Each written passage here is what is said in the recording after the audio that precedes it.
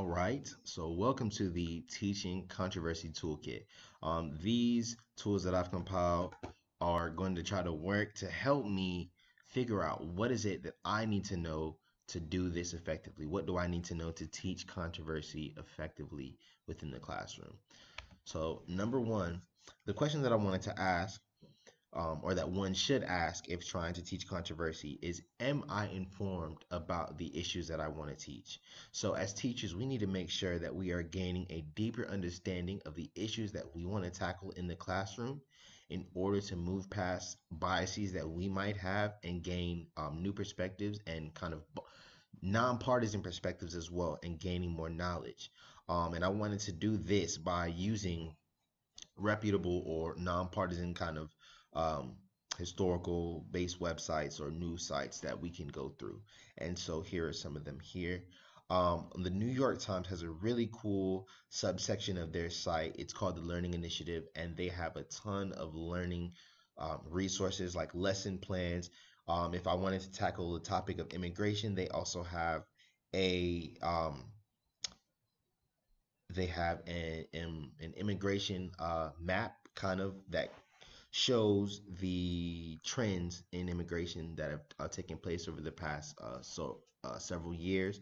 Um, and then they also have a lot of different um, op-ed articles, so they're a little bit more they're opinion based, um, and so you can kind of they're not leaning to the right or to the left, so you can kind of go through these and um, pick whichever one you want. You can bring articles to class and have students kind of go through those and see um, you know, kind of compare and contrast various uh, articles. And so this article, I glanced, um, kind of went through it a little bit, um, and I think this would be really awesome um, because you can kind of take out some of the facts and kind of, you know, set those up, you know, if you wanted to do a some sort of debate, whether in class or something like that to that effect. Um, then also, I also found another really, really cool site. It's called proandcon.org, and this would be awesome. Um, so what you'll have is you in the search bar you can type up a topic, and in this example, I've typed in immigration. And what they'll do is they have a number of articles that you can read or you know grasp.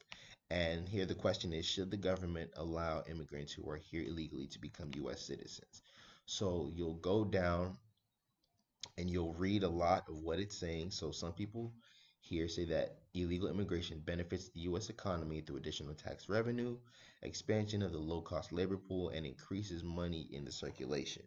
While the opponents of illegal immigration say that the people who break the law by crossing without proper documents or by overstaying should be deported and not rewarded with a path to citizenship.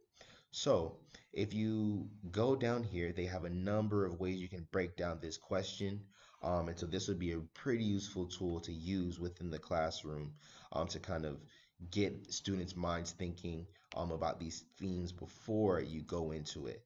And if I was wanting to do something like have students present their sides of a case, let's say I set my classroom up in kind of a, a presiding court kind of style, then I could do this because there are different sides that you're getting to see through the um, through the classroom discussion.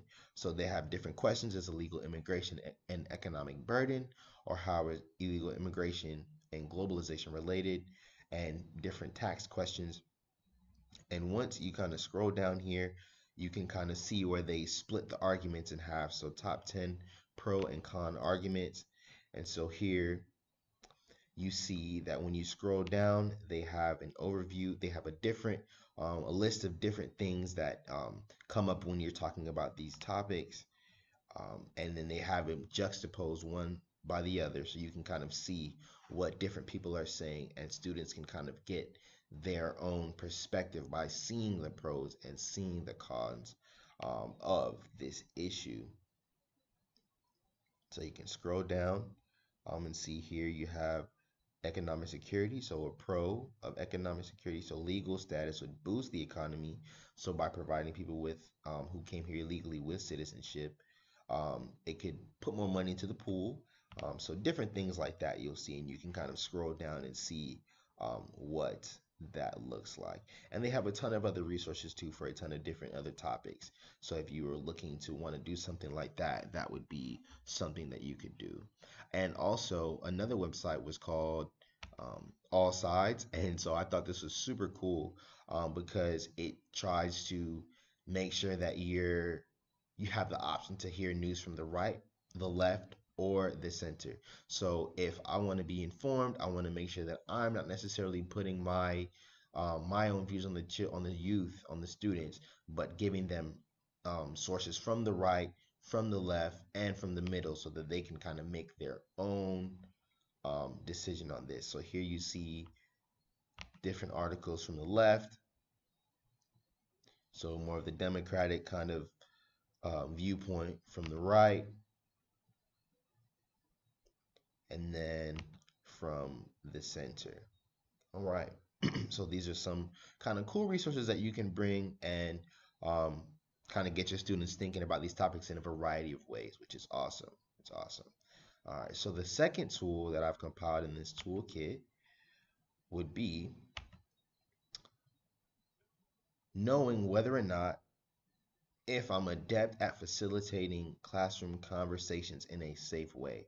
And so I need, or we need as teachers, anyone who wants to do this needs to be able to utilize various methods of discourse or hands on kind of uh, interactive classroom experience activities that can effectively break down contemporary hot topics, controversial topics for students to help them kind of safely share and formulate their own opinions.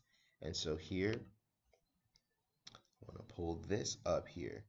Um, and so in trying to find this, I actually looked up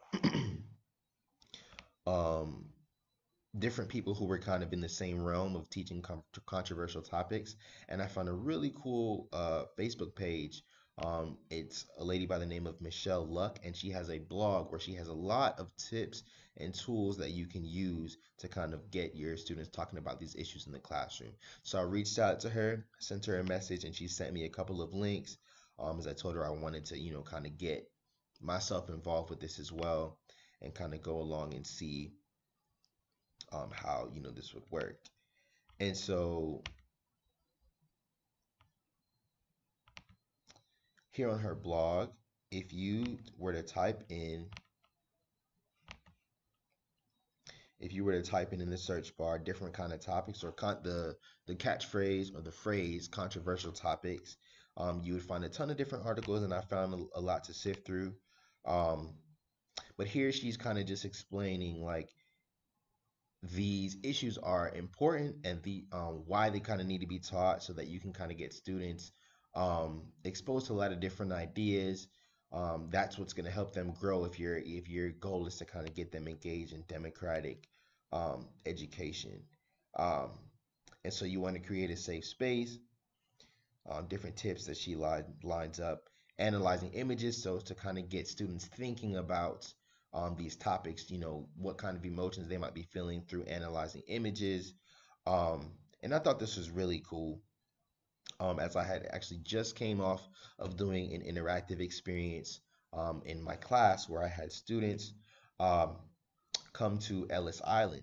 And so basically, we partnered with a Spanish class, and history students were coming to Ellis Island, and the Spanish students were asking them questions, and there was no English involved.